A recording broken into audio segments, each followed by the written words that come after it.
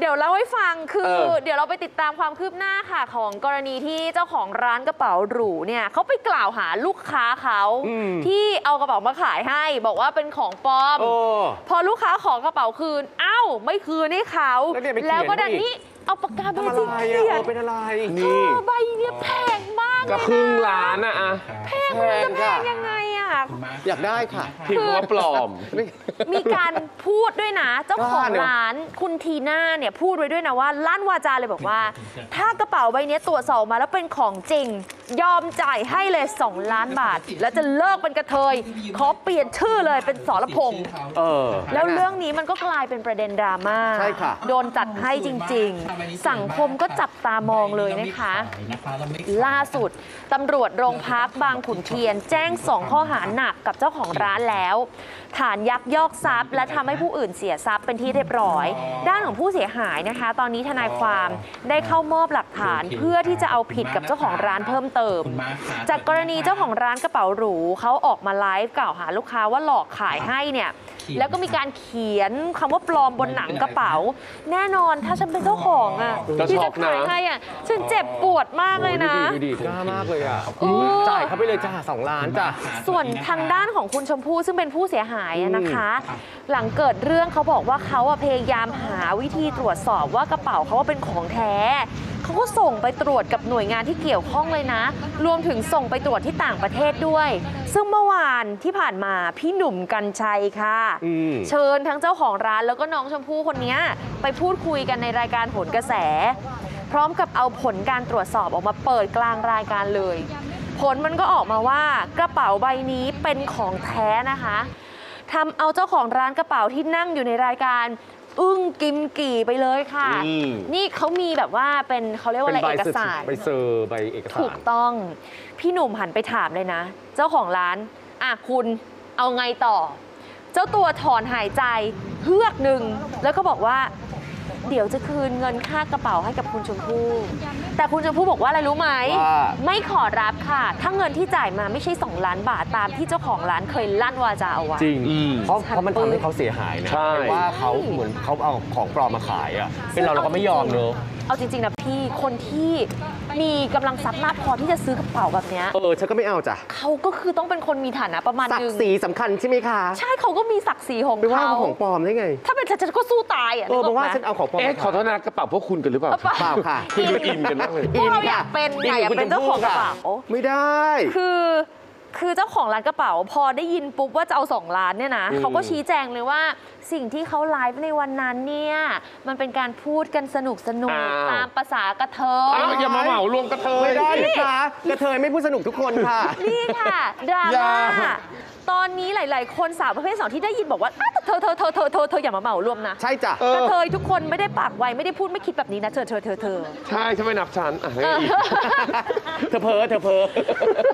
แล้วเจ้าของร้านยังก็ดูพูดอีกเธอนะ ว่าเขาอะขนองปากพูดไปเพราะขนองปากแต่ว่าถ้าเกิดจะให้สอจ่าย 2 ล้านจริง ๆ แล้วให้เปลี่ยนชื่อจริง ๆ แล้วให้เลิกเป็นกระเทยจริง ๆทำให้ไม่ได้อ้าวแล้วก็พูดแบบนี้ อ๋อเลิกเป็นกระเทยเข้าใจทำให้ไม่ได้พี่หนุ่มเขาบอกไปปยนชื่แล้วก่อนอืมเปลี่ยนชื่อก่อนแล้วก็จ่าย 2 ล้านอะทำได้จ้ะต้องจ่ายได้จ้ะกล้าพูดต้องกล้าอุ้ยจ่ายเอาจริงว่ะ เอาจริง ฉันอยู่ข้างคุณชมพู่จ้ะ ใช่ ในขณะที่คุณชมพู่ยังยืนยันนะคะว่าต้องการค่าเสียหายจำนวน 2 ล้านบาท เพราะว่าเขามีหลักฐานว่าเจ้าของกระเป๋า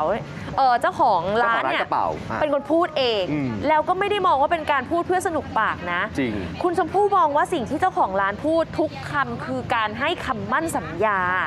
คุณชมพู่บอกว่าเธอมีทั้งคลิปในไลฟ์ที่เจ้าของร้านพูด มีข้อความแชทที่เจ้าของร้านยืนยันเลยว่าจะจ่าย 2 ล้าน ถ้ากระเป๋าของคุณชมพู่เป็นของจริง อยากให้เจ้าของร้านทำตามที่ปากพูดเอาไว้ด้วย หลังจากจบรายการค่ะ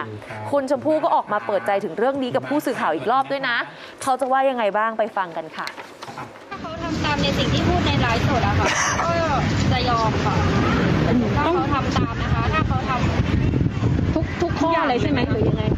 ก็สองล้านด้วยชดใช้เปลี่ยนชื่อสงล้านแล้วก็สรวงนั้นเขาจะเปลี่ยนอยู่แล้วนะคะวันพรุ่งนี้เขาบอกก็ถ้าทำตามอะค่ะ ก็ยอมได้ค่ะ แต่ว่าตอนนี้ยังไม่ใช่อืมนี่ค่ะเขาก็ยังยืนยันคำเดิมว่าเจ้าของร้านกระเป๋า ต้องจ่ายค่าเสียหายมา 2 ล้านบาทตามที่พูดไว้ และย้ำด้วยว่าต้องเปลี่ยนชื่อเป็นสรพงษ์นะ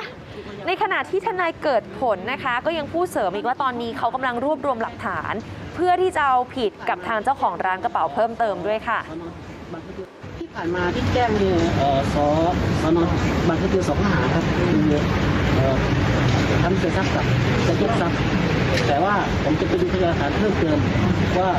เข้าข่ายข้อหาอะไรบ้างวันนี้ที่จะร่วมนั้นก็คือประมาทแล้วหมิ่นประมาทแน่นอนครับครับ ส่วนทางแพ่งก็เดี๋ยวไปดูว่าค่าเสียหายความผิดฐานเกี่ยวกับคดีประมาทและเกี่ยวกับการรับปากว่าจะชดใช้ค่าเสียหายให้สองล้านบาทจะได้ฟ้องวันไหนก็ว่าอย่างนี้ดูเนี่ยค่ะ ไปดูฟาดของคุณทีน่าบ้าง เจ้าของร้านกระเป๋า ยืนยันว่าไม่ได้โกงลูกค้า แต่ยอมรับจริง ๆ ว่าตรวจสอบผิดพลาด หลังจากนี้ต้องเอากระเป๋าต้นเหตุเนี่ยไปตรวจสอบเพิ่มเติมอีกครั้ง เอ้ย แล้วเขียนไปคำว่าปลอมแบบนั้นอะตรวจสอบแล้วยังไงต่อ ใครจะใช้อะใครจะใช้วะใครจะซื้อไปใช้ต่อคือมูลค่ากระเป๋ามันสูงมาก แต่พอมันมีดีเฟกต์นิดเดียวอะเรารู้กันอยู่แล้วเนาะราคาราคามันก็คือตกแบบไม่คือหายไปจริงหายไปใครก็ไม่เอาอะๆใช่อะคุณทีน่าคุณทีน่าว่ายังไงคะ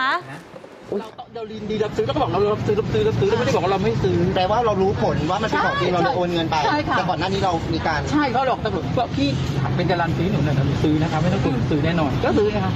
พี่หนูอยากรู้แล้วว่าตอนแรกที่พี่ตรวจแล้วมันปลอมเนี่ยคือเราดูยังไงเรา มันมันพลาดตรงไหนเป็นอะพลาดเพราะว่ามันลงไปเจออย่างเงี้ยงานอย่างเงี้ยคล้ายๆอย่างเงี้ยครับประมาณอย่างเงี้ยครับแต่สุดท้ายแล้วเราก็ไม่ได้ว่า เราไม่ได้ว่าตั้งใจว่าจะให้เขาเป็นของปลอมไม่ใช่นะคะเราเอามาตรวจสอบอีกทีนะครับ อืมโอ้ยเขาตรวจสอบกันไปตั้งขี่รอบแล้ว เออ ยังจะไปตรวจสอบอีกเหรอไม่ต้องแล้ว เดี๋ยวก่อนยอมรับตรงสถาบันๆเนี่ยเถสอะถาบันนี้เขาเป็นระดับยอมรับ ระดับโลกเหมือนกันนะก็ได้รับการยอมรับพอมาบายอะ เดี๋ยวก่อนโถามนิดนึงคุณขายกระเป๋าอะแล้วคุณขายกระเป๋าให้กับลูกค้าแอม แอมเมสหรือว่ากระเป๋าที่แพงๆอะคุณดูไม่เป็นจริงๆหรอ คือเมื่อวานอะคุณหนุ่มกัญชัยเขาเอามาตั้งในรายการ 3 อัน ใช่ ก็ยังเลือกผิดเลย คุณดูไม่เป็นแล้วคุณคุณส่งกระเป๋าให้กับลูกค้าที่ผ่านมาเนี่ยที่ผ่านสมารุปแล้วงงแล้วนะอัจริงๆอันไหนปสลรุอปมคุณได้ของจริงหรือเปล่าเนี่ยจริงไหมอะเออลูกค้าที่เคยซื้อตอนนี้ก็คือเลิกลักกันหมดเลิกลักแล้วนะ เออว่าจะยังไงอะ ฝ้ากทางด้านของคุณชมพู่ค่ะคุณผู้ชมหลังจากที่เขาให้สัมภาษณ์เสร็จเขาก็เดินทางออกจากช่อง 3 เพื่อที่จะไปติดตามความคืบหน้า แล้วก็มอบเอกสารเพิ่มเติม คนนี้คือคนจริง จริง รวมถึงผลรับรองจากสถาบันตรวจสอบ พร้อมมอบกระเป๋าใบเนี้ยให้ตำรวจสอบสวนเอาไว้เป็นของกลาง เพื่อตรวจสอบอีกครั้งหนึ่ง จากนั้นนะคะก็มีการออกมาให้สัมภาษณ์อีกรอบ บอกว่ายืนยันว่าจะเอาเรื่องให้ถึงที่สุด มองว่าคู่กรณีอะเขาไม่มีรู้สึกผิดเลย แล้วก็ไม่สำนึกกับสิ่งที่ทำลงไปเลยอืมอีกประเด็นหนึ่งที่ทำให้คุณชมพู่ตัดสินใจไม่ยอมความเลยก็ครับคือ คู่กรณีอะพูดไปเรื่อย พูดหยาบคาย บอกว่าตัวเองไม่ได้โกง แต่สิ่งที่ทำมันตรงกันข้ามอืมถ้าคิดว่ากระเป๋าของเธอมันเป็นของปลอม สิ่งที่ง่ายที่สุดก็คือแค่ส่งคืนมาสิ จะเอากระเป๋าไปเขียนให้มันได้อะไรขึ้นมา จริง แถมปากกาที่ใช้ มันก็เป็นปากกาที่ลบออกไม่ได้ เอามาเขียนกระเป๋า คุณชมพู่บอกว่าเจตนาอ๋อปากกามันลบออกได้คุณ คุณชมพู่บอกว่าอะไรรู้ไหมเจตนามันก็รู้ๆกันอยู่ว่าที่ทำไปเนี่ยทำไปเพราะอะไร หนูคิดว่าเขาไม่รู้สึกผิดเลยค่ะ แล้วก็ไม่รู้สึกว่าตัวเองทำอะไรอยู่เงี้ยค่ะ เพราะเขาก็พูดอยู่ว่าเขาไม่ได้ยักยอกเขาไม่ได้โกงอย่างเงี้ยค่ะ คือถ้าคนมีเจตนาดี ถ้ารู้ว่าปลอมอะก็บอกหนู เดี๋ยวหนูอะมารับไปเอาเองก็ได้ค่ะ เพราะว่าเขาอะก็ไม่ได้เสียเงินสักบาทเดียวค่ะ แต่อันนี้เขามาเขียนหน้ากระเป๋าหนู แล้วก็แถมไม่เอาคืนด้วย แต่ปากกาก็ลบได้ด้วยอย่างเงี้ยค่ะ เจตนามันคืออะไรก็ รู้ๆกันอยู่แฉแฉแฉแฉข่าวเช้า